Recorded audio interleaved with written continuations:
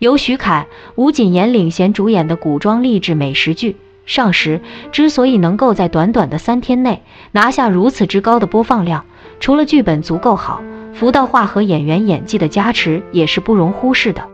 还有最最重要的一点在于，徐凯在这部剧当中的演技是真的得到了提升，从头到尾都表现得十分自然。虽然《上时》是原创剧本。此前并没有与之对应的文字作品产出，但是只需看剧中人物的名字，便可以将接下来的剧情走向猜个八九不离十。下面就来说一说上时结局：朱瞻基当上皇帝，姚子衿注定悲惨的原因。朱瞻基当上皇帝，上时是以大明永乐年间为背景的而进行创作的。历史上这一时期的皇帝名为朱棣，永乐是他在位期间的年号。朱棣有三个儿子，按长幼次序排序，依次为朱高炽、朱高煦、朱高燧，分别对应剧中的太子、汉王、赵王。显而易见的，无论是从姓名上来看，还是从封号上来看，这些人物角色都与历史上的那些人物角色大同小异，无甚差别。更为值得一提的是，近年来广电对跟历史沾边的剧过审要求极为严格。既然上时用了真实的历史背景和真实的历史人物，那就说明这部剧的剧情以及结局应该都与史实相照应。就拿剧中男主角朱瞻基来说，历史上他是明成祖朱棣之孙，明仁宗朱高炽长子，明朝的第五位皇帝，并且还极为受皇祖父朱棣疼爱，曾数次帮助其父在生活和朝政上反击汉王。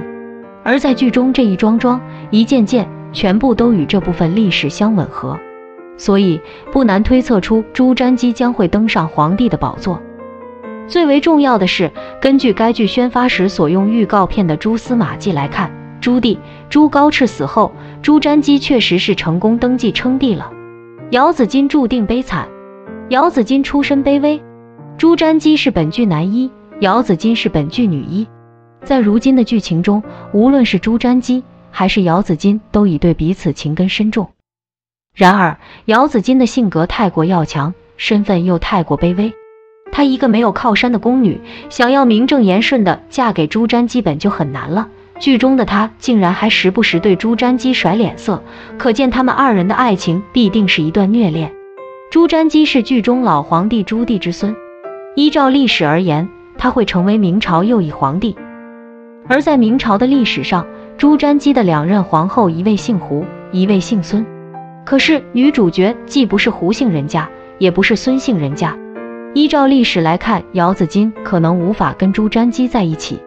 还有就是，哪怕他改姓为孙，真的跟朱瞻基在一起了，他也幸福不了多久，因为朱瞻基年仅三十六岁便一命呜呼了。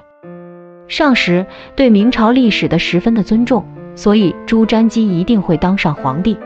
只不过因为考虑到历史上的朱瞻基只活到三十多岁的缘故，所以说本剧女主角姚子衿的结局注定悲惨。毕竟朱瞻基一死，姚子衿的结局不是给朱瞻基殉葬，就是给朱瞻基守寡。